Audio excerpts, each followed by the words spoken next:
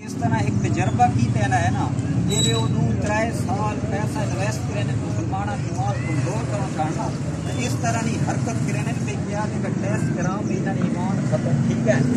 वो तुम्हारे सामने जान सलाह ते नबी अलैहि वसल्लम को ही करें तो या सहाबा कराम या कुरान देखो ने हाँ?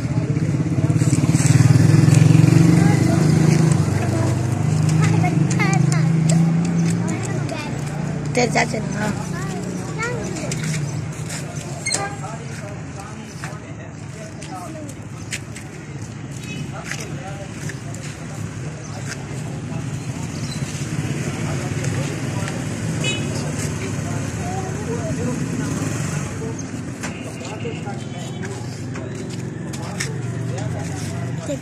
sudah asing di bawah.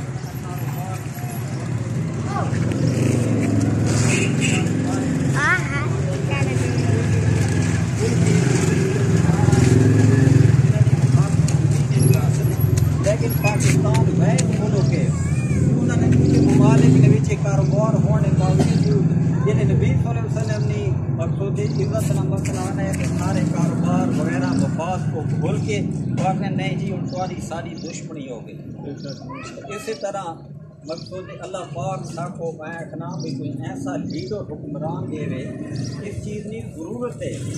असल तो चेक करें जेले सारा मुसलमाना ना हुक्मरान को ज़ोर होया ना उन्हें ये कहना जेले सारे हुक्मरान हज़रत फारूक किया है। अल्लाह पाक उन्होंने खिलाफ साको जिहाद करो तो भी मुसलमाना को मुतहिद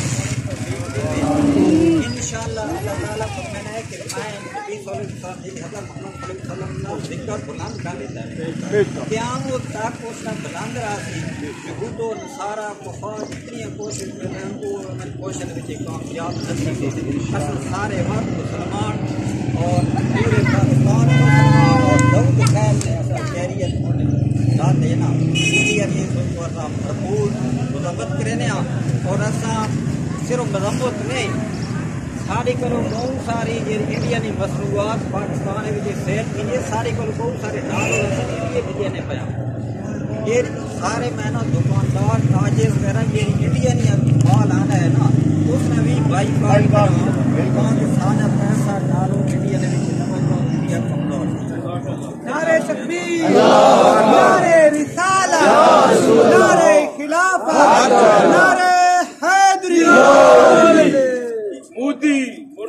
मुर्दाबाद। मोदी मुर्दाबाद। मोदी मुर्दाबाद। इस्लाम जिंदाबाद इस्लाम